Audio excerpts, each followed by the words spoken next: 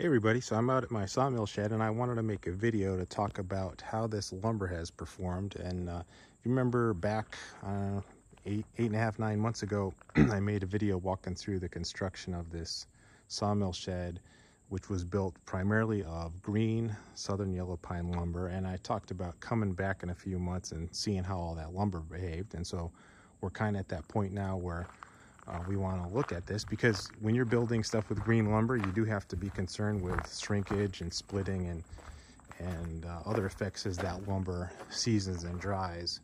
Um, and so I want to start by talking about the framing lumber. Generally, when you're framing with green lumber, you don't have to worry too much about anything that's about an inch and a half or thicker. Uh, it's generally not going to split on you. The one thing uh, you do have to worry about though is when you have connections where beams meet posts, you want to accommodate some settling here so that as that beam shrinks, uh, you don't develop a huge gap between the beam and the post. And so one way to do that is to use gusset plates. And you can either oversize your holes in the plate or the wood, or you can wallow them out and kind of oval them so that you allow things to settle down and slip and so that that beam can stay um, on top of the post. And and that's worked out well here. Uh, it's it's done uh, that on both ends. All the other framing lumber looks great. I don't see any cracks or splitting or uh, settling issues. Boards have stayed tight against each other where they're supposed to. Um, and so that looks good. And you know that kind of confirms when you're talking about the the thicker lumber um, you're generally pretty safe uh, using green wood for that where there's a bigger concern though is your siding. And generally if you're talking about boards that are an inch or thinner, uh, you do have to worry about all kinds of things when it's green lumber. You have to worry about shrinkage and splitting and cracks uh, because those boards won't be able to resist those effects because they're so thin. So let's start here on the outside. Um, if you're going to be siding with green lumber, the board and batten method is really the preferred way to go. It, it, originated to deal with all the issues you run into with green lumber. And the way I did mine, uh, so you can see there's a row of fasteners here. Behind this row is a wall girt. And for each board, I came in dead center on the board and put in two uh, ring shank galvanized siding nails with a nail gun. And that's the only place these boards are nailed, down the middle. There are no nails on the edges of the boards because we want to allow those edges to shrink in as that board dries out. We don't want to constrain that. If we had put nails on the edges of these boards, when they go to shrink, they're going to split and, and cause cracking. And so here we only nail the board uh, right down the, the center.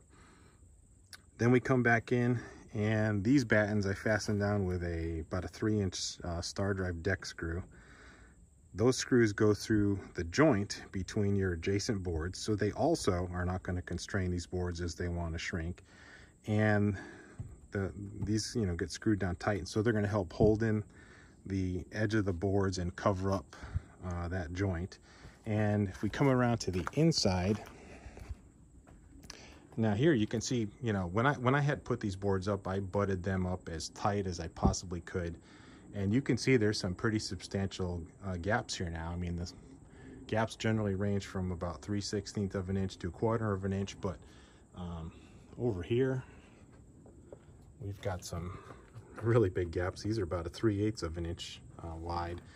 Um, and that's to be expected, but you know, what we see here is that the board and batten method worked like it's supposed to. We don't, we, we have substantial shrinkage, but we didn't get any uh, splitting or cracking, and you don't see any daylight in these gaps because the batten is still covering up that joint. So uh, it worked out really well. Um, you can get a better view if we come up here and look at the uh, front edge where we see the siding coming down and you can see the boards and the battens and you can see you know the gaps in there.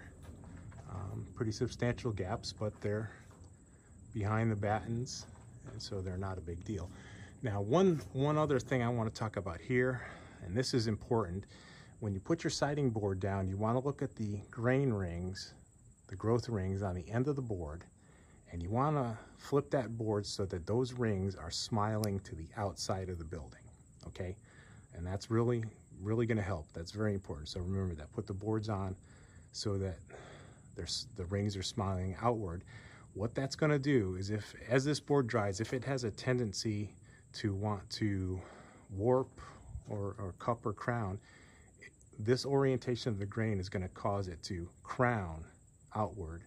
But because we nail it down the center, it's not gonna be able to. We've held that center down uh, to, to the framing.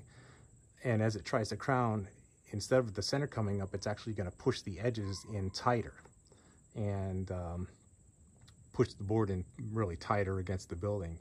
Um, and uh, that that's going to further help stability of your your siding. If you had flipped this so that the rings were smiling inward, um, then this board is going to want to cup outward. And remember, we don't have nails on the edges of the board because we want that to be able to float and, and, and move. Uh, if it tried to cup, then there's nothing to prevent that board from cupping outward except your battens. It's going to put uneven pressure on the battens. Say if this board wanted to cup, but this one didn't, it's going to twist these battens. And that's when things start to get unstable and uh, start to look really bad. And so just remember that when you're putting up your boards, have that grain smiling outwards, and that will further enhance stability of your siding. And you can see I, I did that. Once in a while I'll forget, but I guess I was paying attention up here. I hadn't started uh, afternoon beer yet, so uh, I got all of these with the grain smiling out and things, things look good. So I think that's it for today. Um, as always, if you have any questions or comments, please leave them uh, below and I'll be happy to uh, reply. And thanks for watching.